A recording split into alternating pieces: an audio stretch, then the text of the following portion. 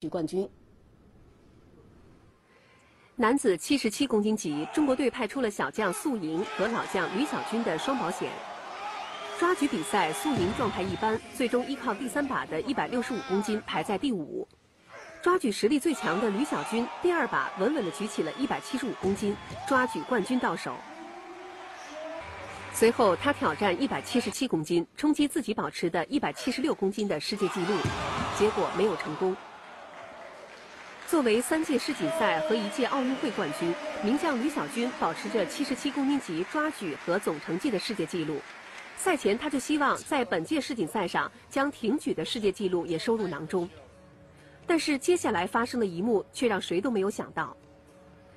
挺举开把要了二百零一公斤的吕小军，原本应该在比较靠后的位置出场。但是由于在他之前上场的哈萨克斯坦和俄罗斯选手在互相争斗中调整了重量，导致还在做准备活动的吕小军不得不匆忙出场，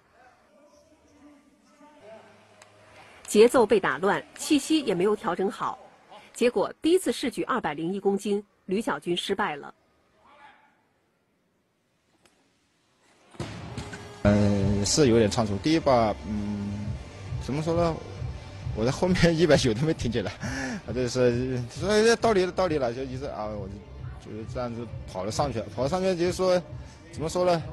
呃，气就是说还没调顺，就是说翻起来之后就是杠铃也没调好，就是说气还是没有压好就走了，走了完就是就是怎么说呢？还是气没有，还是没有压好吧。这个意外极大的影响了这位名将的心情和士气。接下来的两次试举也都没能成功，吕小军挺举砸锅。我一百八做完之后嘛，就是歇的时间太长了，太长了等于说，将近估计有歇了个七八分钟。这东西就打顺了之后，他等于说那个动作就是说你自然而然的就打出来了。等于说你一旦歇下来之后休息了将近，是时间长了之后，等于说就是身上一个是肌肉上面的一个反应，再一个就是怎么说呢？嗯，从兴奋度啊这方面，就是精神这方面，就是有点松懈了吧？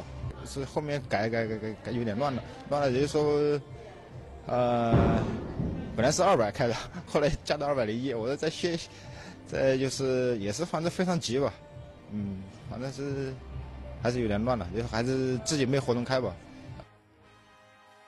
其实这种事情发生在明年的里约奥运会之前，也许并不是一件坏事儿，这也为他的奥运备战提前敲响了一记警钟。呃，回去还是得啊慢慢总结。再一个是挺举还得多加强，挺举这方面再争取再再练得更扎实一点吧。抓举比赛中并没有显露头角，仅排名第四的哈萨克斯坦选手拉希莫夫上演了高光表现，凭借第二把的二百零七公斤锁定了挺举冠军。同时，他也以三百七十二公斤收获了总成绩冠军。中国小将宿营挺举成绩为一百九十公斤，三百五十五公斤的总成绩排名第七。奥运年之前的这次失利为刘晓军敲响了警钟。当然，比赛的失利主客观的原因都有，但我们更多的还是应该从自身找问题。